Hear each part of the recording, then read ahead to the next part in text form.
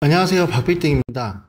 2013년도에, 그러니까 다른 지역들과 동일하죠. 뉴타운 출구 전략. 이때 맞물려서 해제가 됐고, 2018년도에 재개발을 다시 추진했던 금호 21구역이 한 5년 정도 시간이 걸렸는데 신통 정비계획안이 서울시 도시계획위원회 심의를 거쳐서 현재 그 21구역에 의견 청취 기간에 들어갔습니다.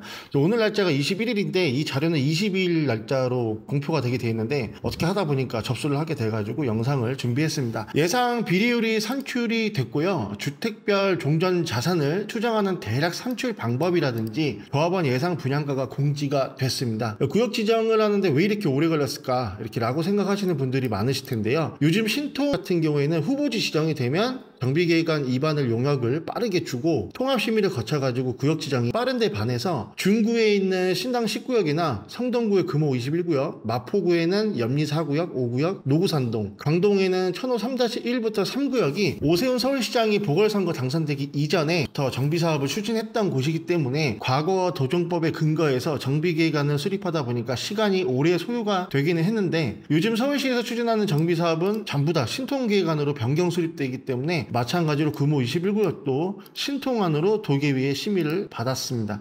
자, 추정 비리율은 여기 화면에 보시면 106.82%이기 때문에 공동주택 공시 가격에서 보정률 150%만 받아서 권리가액이 나오기 때문에 사실상 비리율에 따른 이득은 높지 않은 편에 속합니다. 1200세대 정도 규모가 되긴 하는데 비리율이 좀 낮게 잡히긴 했습니다. 자, 그렇지만 네이버 부동산에 보면은 비리율이 130%다. 이렇게 해서 매물을 홍보하는 내용들이 있기 때문에 이 내용을 보시고 102%에 가까운 비리율이다라고 확인을 하시고 살펴보시면 좋겠는데 이 주택가격 공시가격에서 보정률이 150%인데 예전에 우리가 알고 있는 1차, 2차 뉴타운 같은 경우에는 130에서 140% 보정률이었습니다. 근데 최근에는 이 보증보험 가입 또 보정률이 150% 정도 잡히죠. 그래서 권리가 잡을 때 보정률이 좀 예전보다 올라가서 권리가격이 좀 높게 잡히는 경우도 있고 공주가가 올해는 떨어졌지만 또 내년에 또 오를 수도 있기 때문에 공주가 인상에 따른 또 권리가격이 올라갈 수도 있습니다. 그래서 기존에 구축 매물 사시는 분들은 땅 지분 큰 거를 찾으시는 게 좋죠. 왜냐하면 공주가가 많이 잡히기 때문에 근데 좀 싸게 나올 매물이 있는지는 잘 모르겠습니다. 근데 이 내용은 변론을 하고 최근에 이 광주에서 철거하다가 사고 한번 터지고 나서 철거 감리나 심의가 좀 까다롭기 때문에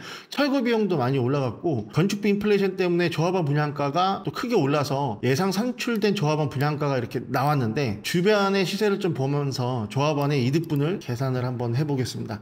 자 59 타입도 있는데 84 타입을 기준으로 좀 설명을 해볼게요. 조합원 분양가가 10억대 중반입니다. 요즘 분양하는 일반 분양가 수준만큼 조합원 분양가가 좀 높게 나왔고 일반 분양가는 13억 가깝게 이렇게 산출이 됐습니다.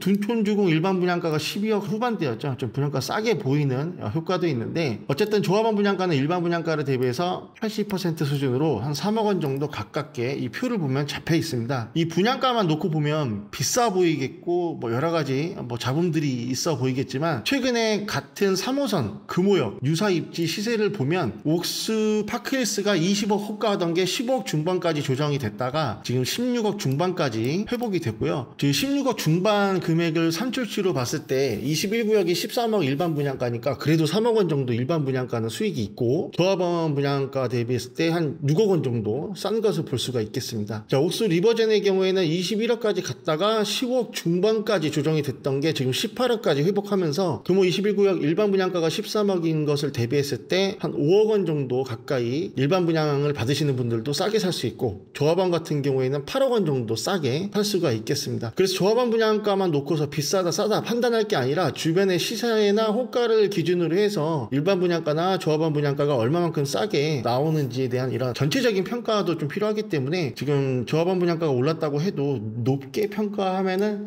조금 지역의 입지 바이브에 비해서는 예, 높다 라고 좀 표현하기가 좀 어려울 것 같습니다. 예, 길 하나 건너면은 3호선 같은 경우에는 압구정이고 신사동이기 때문에 입지에서 나오는 이런 금액적인 value가 높은 지역이다라고 볼 수가 있겠는데요. 이 금호 21구역이 네이버 부동산 보시면 지금 7억에 가까운 푸른 빌라 이런 게 있는데 이런 게 2018년도 2억짜리였습니다. 이제 1년에 5년 걸렸으니까 1년에 1억씩 이렇게 상승된 것을 볼 수가 있겠는데 웬만한 지역 서울에서 아파트 갭 투자에서 상승돼서 수익하는 것보다 더 높은 수치입니다 이게. 그래서 무조건 재개발이 됐던 서울의 어떤 부동산 투자했던 입지 중심인 것은 변함이 없다. 강남과의 접근성이 좋을수록 그런 바이브는 좀 더 크다라고 볼 수가 있겠고요. 경비 사업은 결과적으로 사이클이기 때문에 많은 노후된 주거 지역들이 그러니까 과거 해제된 지역들이 정비 구역으로 최근에 1, 2년 동안 대거 편입됐습니다. 그래서 이렇게 정비 사업 을 다시 할 수 있는 노후 주택가들 정비 요건을 가지고 있는 입지 좋은 노후 주택가들이 점점 점점 사라지고 있습니다 그래서 이런 사이클도 이제 올해나 내년이 지나가 버리면은 재개발을 다시 준비하려면 이제 앞으로 한 10년이나 한 15년 후를 바라보고서 좀 기다려야 되는데 지금은 입지 중심으로 아직 이렇게 저렴하고 소액으로 접근할 수 있는 매물들이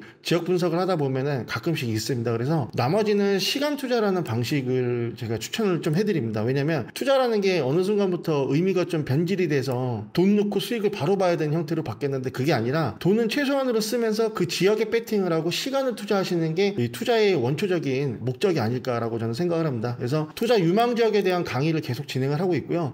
지금 6월달 지난주 토요일날 많이 오셔서 많이 배우고 가셨고 좋은 정보들을 많이 쉐어를 하셨는데 만족을 많이들 하셨습니다. 그래서 7월달에도 강의가 있으니까 하단의 번호로 접수 문의를 해주시면 제가 딱 15명만 선착순으로 잡아서 자료를 탄탄하게 준비해놨으니까 강의를 꼭 참석하시면 좋겠고요. 예전에 염리 4구역도 5구역도 권리선정일 나오기 전에 다 쪼개기로 1억 2억이 투자했던 지역입니다. 노고산도 마찬가지고요. 금호 21구역 같은 경우에도 쌌을 때가 있습니다. 결과적으로는 시간을 다들 투자하셨기 때문에 구역 지정에 따른 이렇게 프리미엄들을 다 수익을 하셨는데요. 한 발 빠른 지역 정보로 시간 투자를 계획하시기를 더욱 강조드리겠고요. 오늘 영상도 유익했다면 구독과 좋아요를 부탁 한 번씩 드리겠습니다. 제가 지난주 영상 강의했던 영상들은 또 편집해서 업로드 해드릴 테니까 그거 보고 또 많이 학습하시면 좋겠습니다. 자 오늘 영상 지루했지만 끝까지 시청해 주셔서 대단히 감사드립니다.